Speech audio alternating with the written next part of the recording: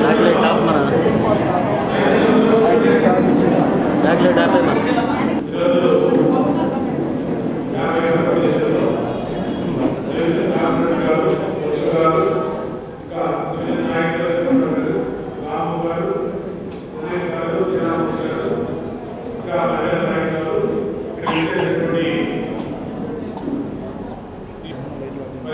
ఆంధ్రప్రదేశ్లో తెలుగుదేశం ప్రభుత్వం అధికారంలోకి వచ్చిన తర్వాత గతంలో స్వతంత్రం వచ్చి డెబ్బై సంవత్సరాలు అయ్యాయి అనేక మంది ప్రభుత్వాలు వచ్చి అనేక మంది ముఖ్యమంత్రులు గతంలో వచ్చారు ఏ ప్రభుత్వం కూడా మన క్రిస్మస్ పండుగకి ఒక జాగ్రత్త కూడా ఎవరు ఏమన్నా ఇచ్చారా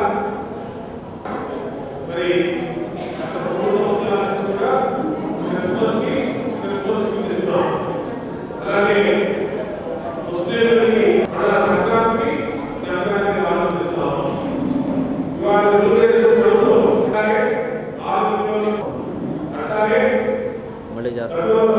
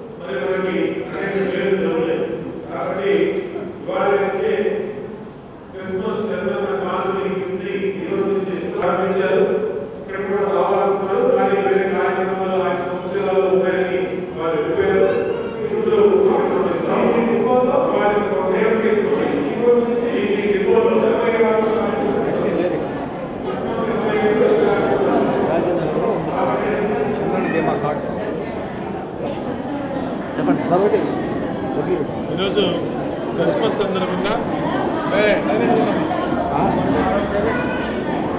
ఈరోజు క్రిస్మస్ సందర్భంగా గతంలో ఏ ప్రభుత్వం కూడా క్రైస్తవుల్ని ఎస్సీ మైనార్టీల్ని తమ ఓటు బ్యాంక్గా మాత్రమే గతంలో వాడుకునేవి కానీ తెలుగుదేశం ప్రభుత్వం వచ్చినాక అన్ని మత సాంప్రదాయాల్ని గౌరవించే విధంగా అన్ని మతాలు ఆ పండుగల్ని ఘనంగా చేసుకోవాలనే ఉద్దేశంతో ఈ బా ఏ రాష్ట్రం విధంగా గౌరవ ముఖ్యమంత్రి చంద్రబాబు గారు మరి క్రిస్మస్కి క్రైస్తవ సోదరులందరూ క్రిస్మస్ ఘనంగా జరుపుకోవాలని క్రిస్మస్ గిఫ్ట్ ఇస్తా ఉన్నారు. గత మూడు సంవత్సరాలకు ఇస్తున్నాం. రంజాన్కి మైనార్టీలందరికీ కూడా రంజాన్ తోఫాన్ ఇస్తున్నాం.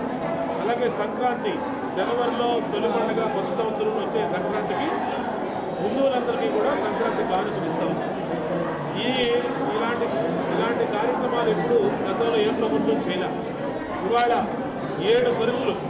కందిపప్పు కానీ బెల్లం కానీ నెయ్యి కానీ పచ్చదార కానీ మరి అన్ని సరు సరుకులు పండగకు ఉపయోగించే సరుకులన్నింటిని కూడా పేదవాళ్ళకి ఉచితంగా అందిస్తూ ఉన్నాం. ఈ రాష్ట్రంలో నాలుగు కోట్ల మంది తెల్ల రేషన్ కార్డు కుటుంబాలందరికీ కూడా ఉచితంగా తెలుగుదేశం ప్రభుత్వం చంద్రన్న కానుక సంక్రాంతికి క్రిస్మస్కి క్రిస్మస్ గిఫ్ట్ రంజాన్కి రంజాన్ తోఫాన్ ఇచ్చినటువంటి సందర్భంలో ప్రజలందరూ సంతోషం వ్యక్తం చేస్తూ ఉన్నారు.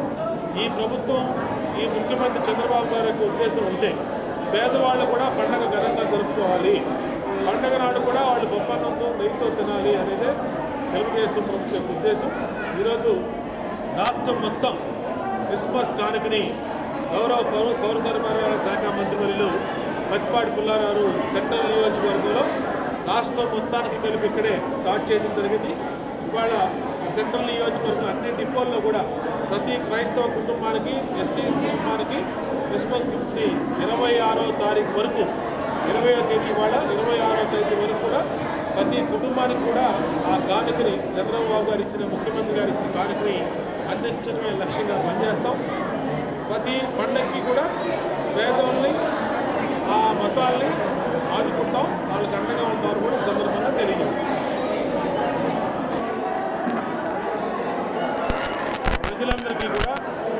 ప్రజలందరికీ కూడా క్రిస్మస్ శుభాకాంక్షలు